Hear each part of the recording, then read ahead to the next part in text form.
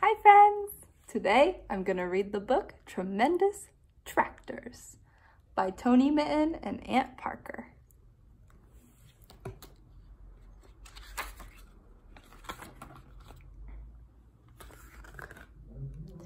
Tremendous chuggy tractors, so sturdy and so strong, hitching up to farm machines and pulling them along.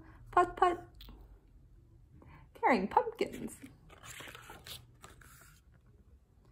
Their big black tires have solid treads that help them not to slip. These chunky treads can chew the ground and get the wheels to grip. A tractor works on farmland, so its body must be tough. It sits high up above the ground, for farmland can be rough.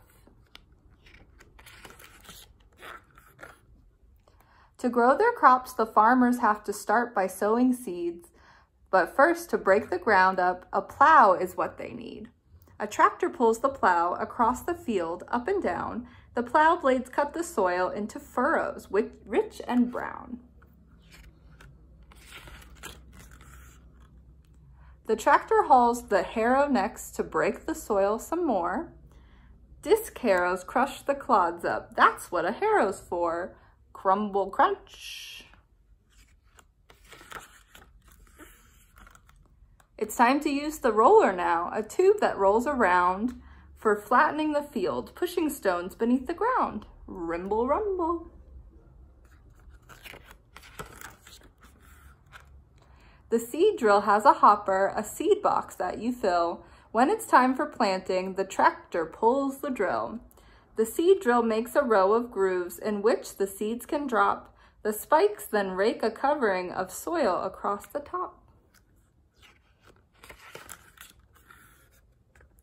When a hay crop's fully grown, the mower mo comes and mows, chop, chop, chop.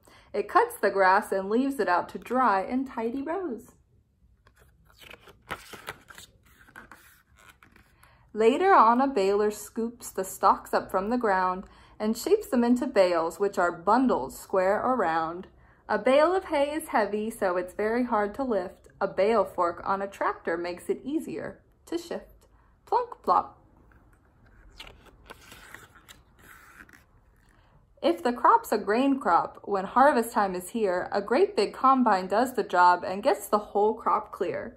It cuts the stalks and threshes them to knock the grain all out, then spreads the straw behind it as the grain spills from the spout. Swish, swish.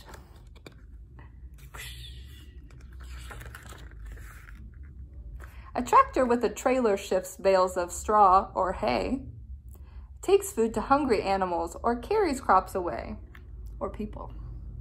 The tractor and the farmer work hard and do their best, so when the day is over, they both deserve a rest.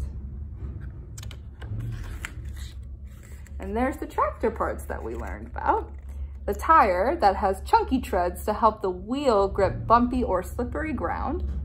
The seed drill, this scratches small grooves in the ground for planting seeds. The hopper, this holds the seeds and blows them out through a row of tubes. The spikes, those move, these move through the ground to cover the seeds after they drop. The blade, a plow has sharp blades or shares to cut into the ground and turn over the soil. And the last one, a bale fork. This is for lifting bales of hay or straw and moving them around. The end.